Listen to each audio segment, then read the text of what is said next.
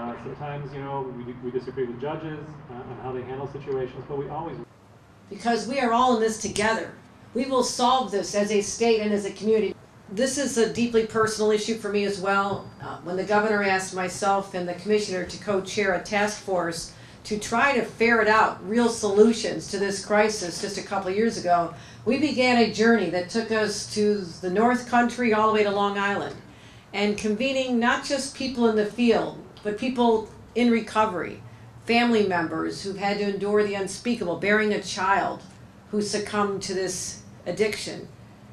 And we believe that we found a path forward, not a once one catch all solution because none exists, but we found a number of things which are so telling.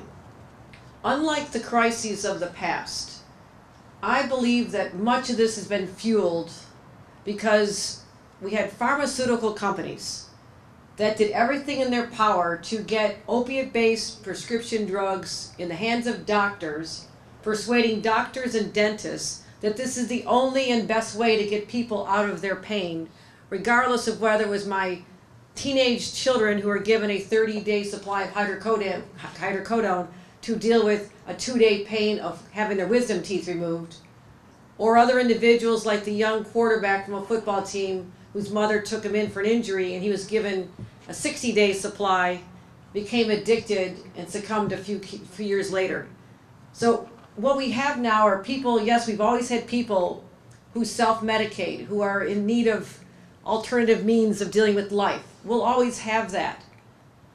But in this case, the reason we hit epic proportions is that so many people listened to someone in a lab coat that they trusted, who not intentionally, but were part of creating a solution that is far larger than we could have anticipated. So we have countless individuals who became addicted. After 14 days, your brain chemistry changes. You may not think so, but indeed it does. And if you cannot re- continue receiving a prescription filled that leads you to the streets, that leads you to heroin, and then you're at risk of unscrupulous drug dealers who think nothing of lacing that heroin with fentanyl, the size of a, a sugar, a, a salt, a grain of salt, could kill you. And I never quite understood this business model because you're killing your customers, but obviously that didn't stop them because individuals in desperate times are often in search of that next high. But this affected my own family personally. When I had a nephew, a high school student, who worked at a delicatessen and cut his hand on a meat slicer, went to the doctor, prescribed the very drugs I'm talking about.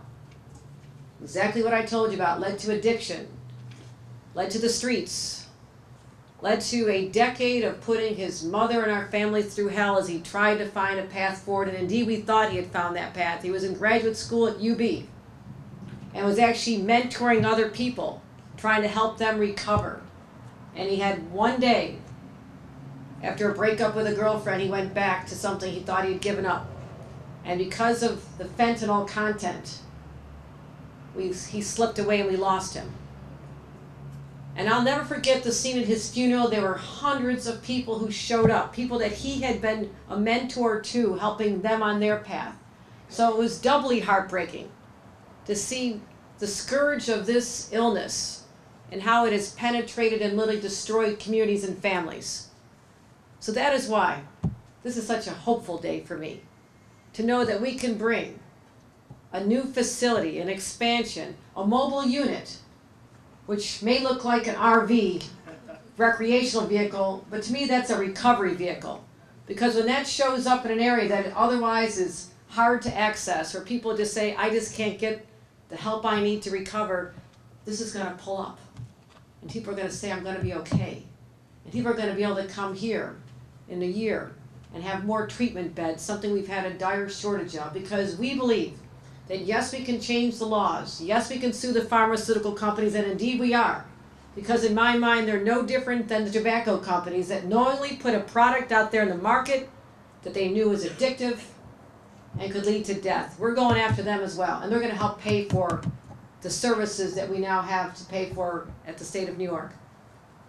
But be proud that your state has not run from this problem. We have embraced this problem. We have leaned into this problem and said, yes, we'll restrict the number of pills that can be prescribed.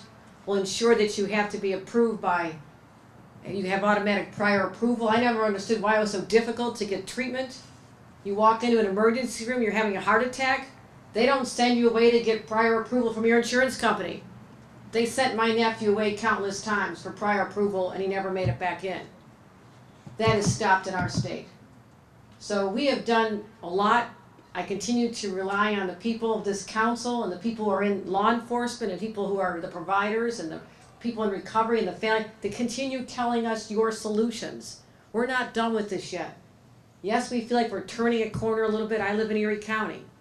The deaths finally are declining from over 300 a year to a little bit less than 300 a year. Uh, that's still an awful lot of faces looking out at you when you open up the obituary page on a Sunday of not octogenarians but 20 and 30 year olds. But we're making at least turning the corner because of the awareness now. The, the drugs prescribed, addictive drugs being prescribed, are declining now. There's an awareness out there. It's only been a year and a half, and um, and we have everybody in place right now. It, it's it's it's almost surreal uh, that it happened so quick. Um, it looks like uh, we have a target date for December 3rd for our jail to have counselors in our jail, along with recovery peers in our jail. Uh, that's a new funding stream that uh, it looks like is going to happen December 3rd. Uh, so we'll be able to go bed to bed from our county jail uh, with transportation. And then the big thing is the handoff from rehabilitation to recovery. And I think that's always what we've really looked for, is that peer advocacy coach or that peer coach to take them from, from the rehabilitation portion to the recovery bed. Um, and that's that portion's going to be there now. So we're going to have that happening in Orleans County. It's it's it's you know God bless uh, everybody who's come together to make this happen.